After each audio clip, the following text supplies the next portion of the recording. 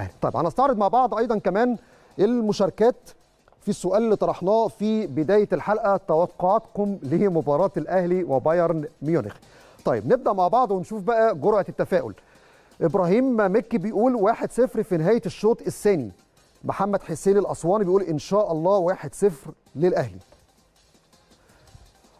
أدهم بيقول إن شاء الله الفوز للأهلي والتأهل للمباراة النهائية. إسلام عبد الله بيقول الأهلي هيكسب إن شاء الله وبعيدا عن النتيجة هنفضل فخورين برجال الأهلي والشباب دول. آه نسمع حسن بتقول 2-1 للأهلي بإذن الله الأهلي لا يعرف المستحيل مفيش حاجة بعيد عن ربنا بالتوفيق لرجالة الأهلي قدها وقدود محمد عبد الفتاح 2-1 للأهلي. كل الآراء كلها رايحة في إطار الأهلي هيفوز يا رب. أبير عبير العدل بتقول 2 1 للأهلي المستحيل ليس أهلاوي. وإبراهيم جمال سلام بيقول 1 0 للأهلي بإذن الله. الأهلي لا يعرف المستحيل ومفيش حاجة بعيدة عن ربنا. بالتوفيق لرجالة الأهلي. آخر حاجة معايا سريعا.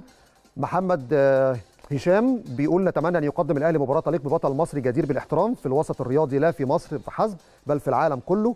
تامر بيقول متفائل جدا ولله الحمد إن شاء الله الأهلي هيكسب. يا رب بإذن الله يا تامر.